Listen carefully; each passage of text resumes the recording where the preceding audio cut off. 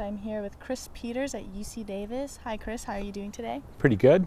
I am the uh, president and CEO of the Seventh Generation Fund for Indigenous Peoples. We are a 36 year old organization. We do grassroots uh, organizing and we fund projects throughout Native America, some in Central and South America, but pretty much in the United States. And we look for optimism in Native communities, look for communities that are uh, inspiring, have a commitment to the continuation of Native traditions and uh, Native cultures. And what inspired the Seventh Generation Fund? What inspired the title, the concept?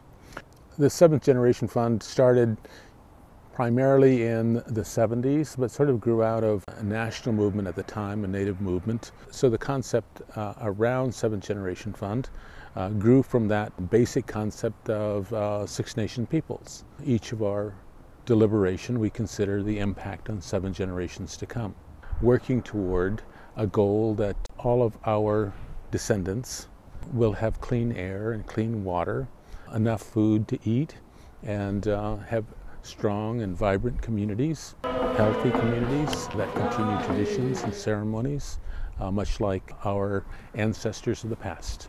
Next, I want to get into your activist projects with human rights movement. How does that affect Native American communities? Native peoples historically have always been in the forefront of human rights issues. Ever since the colonization of the Americas began some 500 years ago, we were always in a resistance mode.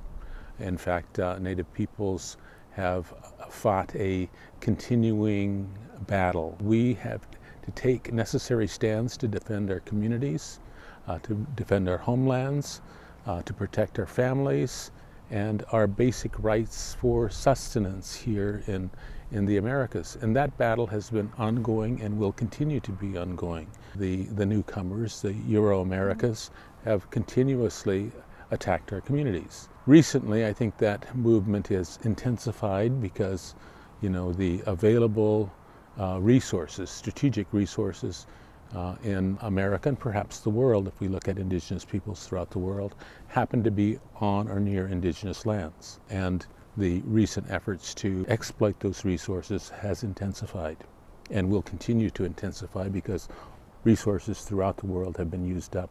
Indigenous peoples throughout America are still relatively rich with resources. And I think that's the battle we look for fighting continuously in the future. Gold mining, uranium mining, coal mining are certainly at the forefront of each of our battles now. But I think as we turn uh, and look at a future that will be impacted with uh, significant climate change, uh, water becomes a critical resource. And indigenous peoples in the Americas, we have sort of a retained rights to water. We need to assert that right because water is going to be the next war. It's already the next war, uh, and it will intensify. Any uh, tribal communities that have running rivers and streams, those are certainly going to be targeted.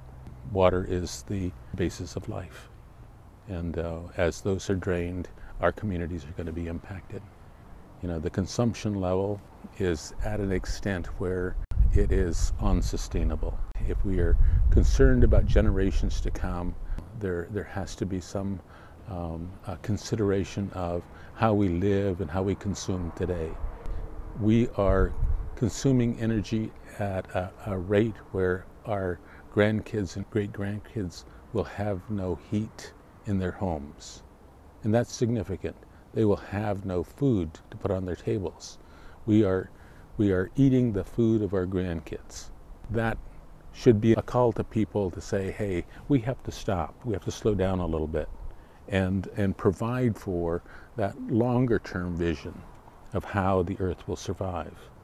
There are still significant numbers of traditional people that still hold hard to those concepts and those belief systems. I think they offer a solution and a direction for not only indigenous peoples, but uh, perhaps all peoples of the world that we need to be looking at a more earth conscious way of understanding a ecological mindset.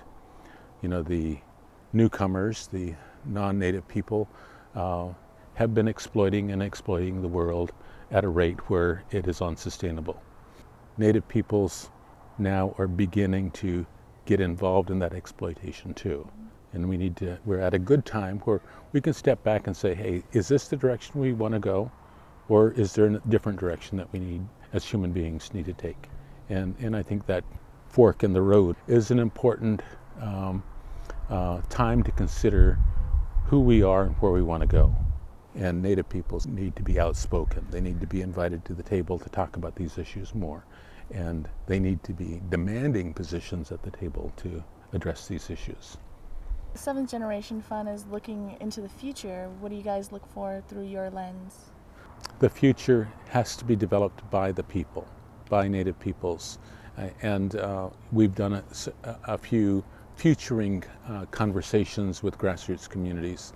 And generally, what we find is that uh, they're looking for a return to a time when life was more simple, mm-hmm. life was a little easier, where there were communities and families that were, were together, stronger, where community gardens were uh, not an anomaly, but were a major factor in all of the communities where there was orchards. Food sovereignty was not an issue because we grew and we produced food and, and we lived happy lives again.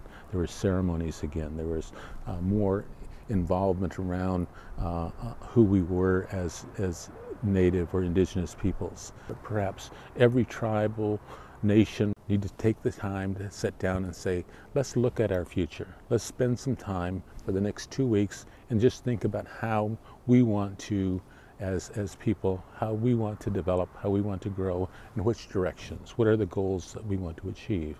And begin to construct plans and strategies to get mm-hmm. there. Thank you for speaking with us today. I'm Bronwyn, and you're on Native Ground.